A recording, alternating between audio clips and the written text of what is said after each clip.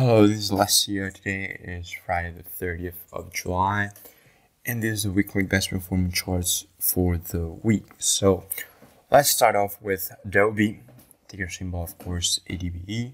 This chart, as you can see, is from July 22nd, and at the time, as you can probably tell, after a sharp move up into wave 1, three waves down into wave 2, and then another very sharp and aggressive move to the upside into wave 3, I was expecting further upside to come to at least meet the 161.8 fib expansion of wave 3 uh, sorry wave 1 so which is of course if you if you know it, it's a very important Fibonacci level for and common target for wave 3 um, in the relationship with wave 1 so I was expecting to at least meet that point since the equality which was around seven, uh, 572 dollars was met. So if you look at, at Adobe now we can see how we did have further upside and now we're starting to see some kind of resistance.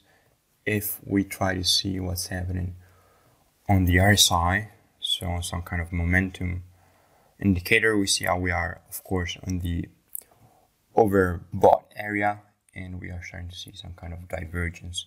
So possibly the trend is losing momentum, which perhaps means that a crash correction is due anytime soon into wave 4, which of course will present a, a buying opportunity for members. So moving on to the next one, which is Baidu, ticker symbol BIDU.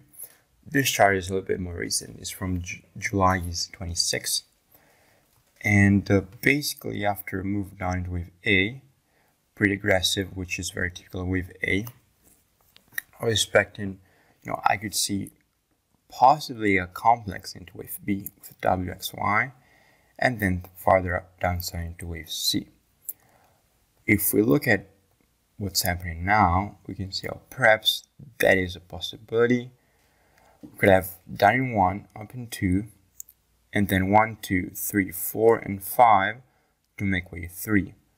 And then again, so if this count is correct, we should see a little bit more downside.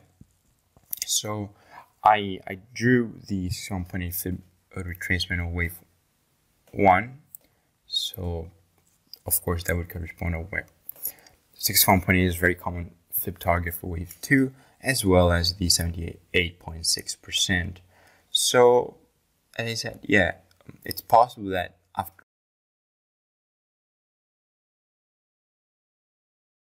breaking this low, we get some kind of reaction, which it looks like we're already getting, but uh, we should see a little bit more downside to come. And that, of course, that would represent an interesting buying opportunity if we do get a little bit more of downside. Also, if I take you through the weekly, so you can see a bit more of what we could expect, I can count from the low up in one down into three, four, five of flat, um, an extended flat, sorry, expanded flat into wave two with A, B, and C. And this, of course, would be just wave one and two of primary wave three. And if, of course, that could take us much higher than and now if we just try to measure that in terms of where wave 3 could take us, of course the you know we have uh, plenty of more down upside to come um, if I let's measure it. See one and two. We can see how our equality is at 5300 um, ish. So, of course, much more to come, assuming this count is correct. The what could the way I could be wrong is this was just wave A or W, let's say. So this is wave X, and now we're zooming down into wave Y. This, I believe we could all this could all be wave Y and not C because let me take you to the daily. Once again, the initial move down was in 3 not 5, so this cannot be a wave C. because of course wave C would have five subwaves, but I can only count, you know, we, we just, wave, wave one would not be a wave one because we have three waves, not five. So that's why I say the only way I'm wrong is this is wave X of some kind, and we are now in wave W. But so far, I don't think there's any reason to, to believe that. We could still see upside to come. Let's just wait for this Fibonacci uh, retracement to be met, and then we'll see what's going to happen. So moving on, we have Pinduoduo. The old chart is from just a second. It's loading. Okay, sorry. The old chart is from July 21st. And once again, I'm expecting further downside to come into the wave, wave C or wave 4.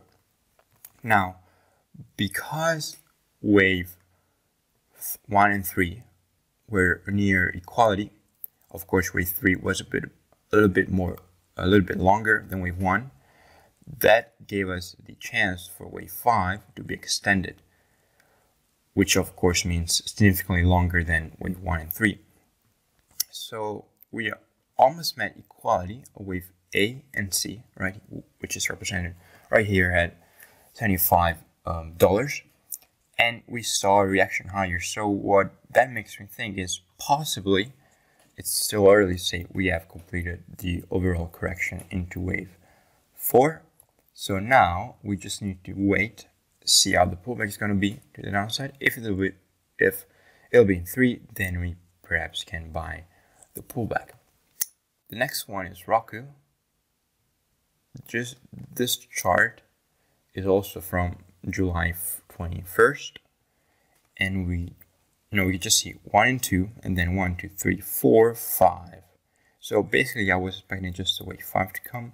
I drew the most significant uh, retracement for wave fours, which of course we know the most important one being the 38.2, and then the 50%.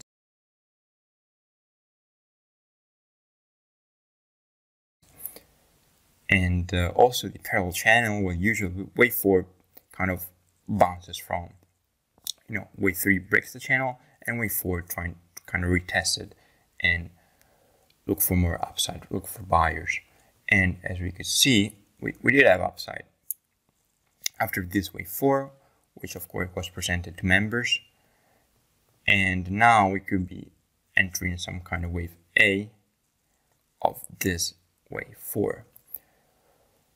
I would expect so because we broke the previous all-time high, so that is why I would expect some kind of pullback, some kind of reaction, and uh, since it's wave 4, it can kind of get sideways, um, and that would be a very interesting thing to see because that will give us confirmation that we are resuming to the upside.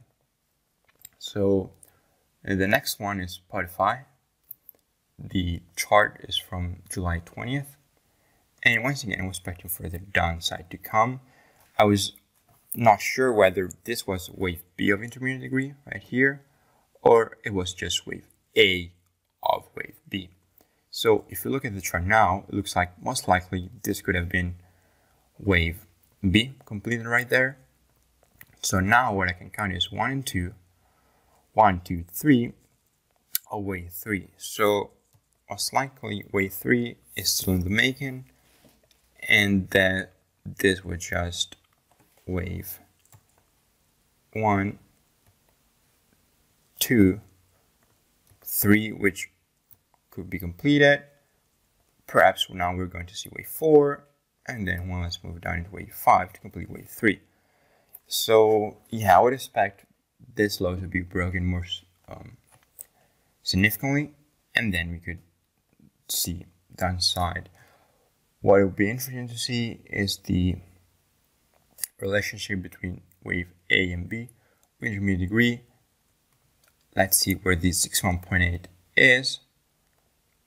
And uh, let's see if, okay, that will be right here around $170. So that would be my first kind of area to look for some kind of pullback to the upside from Spotify because if I zoom out, we can see how I count up in 1, down in 2, 3, 4, and 5, and now we are correcting the entire move up since the end of 2018. So, of course, investment wise, especially, this could be a great buying opportunity for the middle to long term. So, we're talking about uh, a couple of years to maybe a little bit more than a couple of years to 20 or more.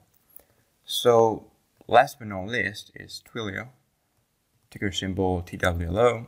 This chart is from July 21st, and I was just expecting similar just like Roku, I'll move to the upside to complete wave 1 and then some kind of reaction for the pullback. So possibly we have completed wave 1. I think so also because we just broke wave B of the same degree and we know that most, most of the time wave 1 will go as high as the wave B of the same degree and then we will we usually see some kind of reaction to the downside in this case. So we could have started with A so I would just wait for the pullback, which of course I'll be monitoring and uh, keep the members posted. And we'll see what's going to happen. Possibly it'll be also not another interesting buying opportunity. So that was it for me today. Let me know in the comments uh, what you think about the counts. If you have any remarks or suggestions to make. If you came up with a better count, that's even better. Always interested to see what you guys think and thanks for watching.